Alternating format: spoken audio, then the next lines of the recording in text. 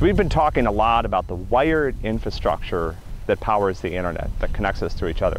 But you're probably wondering, most of my connection to the internet is wireless. So I want to show you a little bit of the wireless infrastructure that you use on a day-to-day -day basis, particularly the wireless infrastructure that you use if you use a cellular telephone um, or, uh, uh, or browse the internet on something like a smartphone.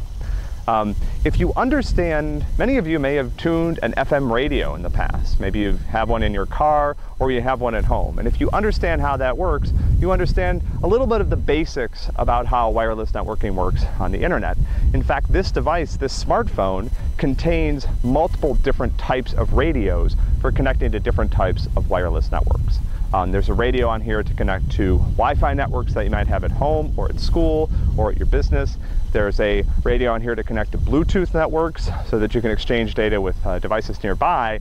Um, and there's also several radios on here that are intended to connect you to the uh, long distance uh, mobile data networks that are operated by wireless carriers.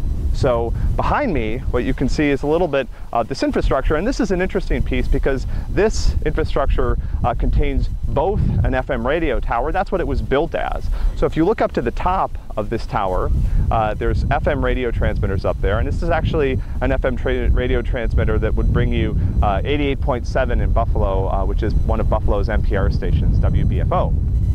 And the FM radios are a little bit different. Uh, so there's some couple of important differences to point out between the FM radios that you uh, that are served by towers like this and the needs of the cellular network. So there's two important differences. First, FM radio, uh, AM radio, TV transmissions are broadcasts. They're one direction. So there's one signal coming out of that tower and all of the radios around here that would tune to that particular station are receiving the same signal. Uh, the second difference is that this signal is one directional. So when you tune a radio to hear WBFO, all you need to do is find the right station, but you're not actually communicating with this tower. And so FM and AM and TV radio towers tend to be tall, they tend to serve large geographic areas and they tend to be extremely high power transmitters. So up at the top of that tower is an extremely high power transmitter that is broadcasting uh, WBFO 88.7 FM to probably miles uh, around here, uh, anyone who would tune into that station would receive the same broadcast.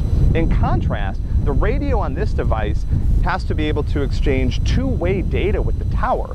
And so think about that. That means that not only does this little phone that's powered by batteries have to be able to hear the connection from the transmitter, it also has to be able to send data to one of these towers. And that transmission, this is a battery powered device, is a much lower, um, lower strength transmission. And so that requires that the cellular data networks be a lot smaller and closer together than these big FM radio networks. And so right at the bottom here, you've probably noticed these FM radio uh, towers. They're kind of hard to miss. They're so tall, but you've probably seen a couple of them nearby. Um, on the other hand, if you look towards the bottom of this tower, you'll see some vertical white antennas, and they're in three groups pointed in three directions. We'll talk about that in a second. Those are cellular, that's part of the cellular infrastructure. And those radios are communicating with my device and other nearby devices to provide both voice, uh, phone call traffic, and data traffic to your mobile devices. So you'll notice that those are quite a bit lower on this tower. Um, and you've probably noticed infrastructure like this before around you because there are a lot of cellular towers. Next time you're driving down the freeway, keep your eye out for stuff like this. You'll see it everywhere. Next time you're walking around a major city, look on the sides of buildings. You'll see these types of antennas mounted all over the place.